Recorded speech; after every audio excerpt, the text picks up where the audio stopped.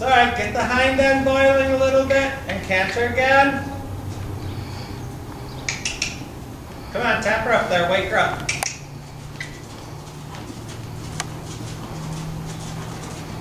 Better. Better. Better. You feel the difference? Lovely. Yes. That's a good place to canter. Yes. Hands a little forward. Follow with your hands a little more.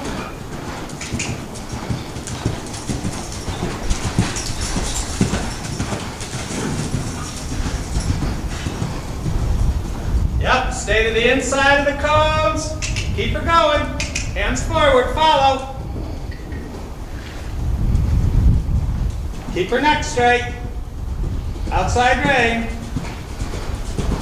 Watch that you don't use too much inside rein. I want you to think of putting her outside nostril in front of her outside foot.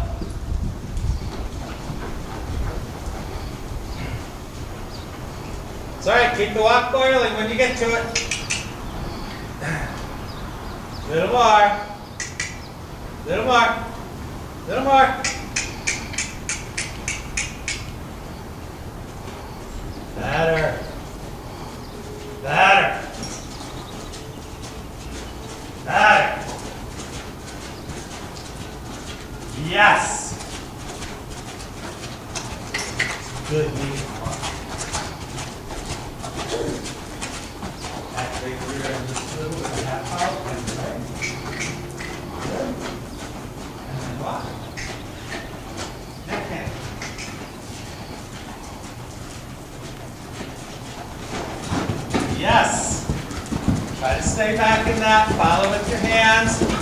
Keep her nose in front of her chest.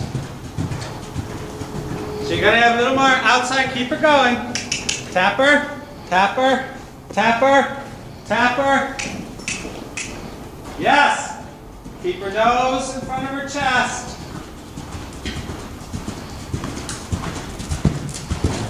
Because she wants, you're drawing her head a little too much to the inside of her front leg, which is to pull her a little off balance and create a lack of straightness. So straighten her nose, outside rein, outside rein. Straighten her nose, yes, better, better, better. Give your inside rein a little bit. Yeah, lengthen. Yes! And then working.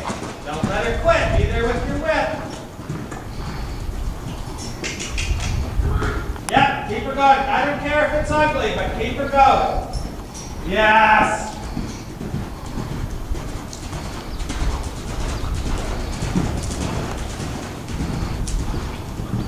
Good. Good. Give your inside right. Not too much inside right. There you go. Yes, keep her nose in front of her withers.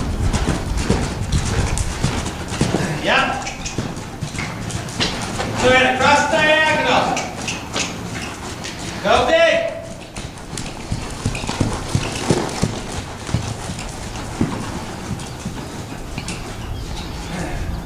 Lock. And take break.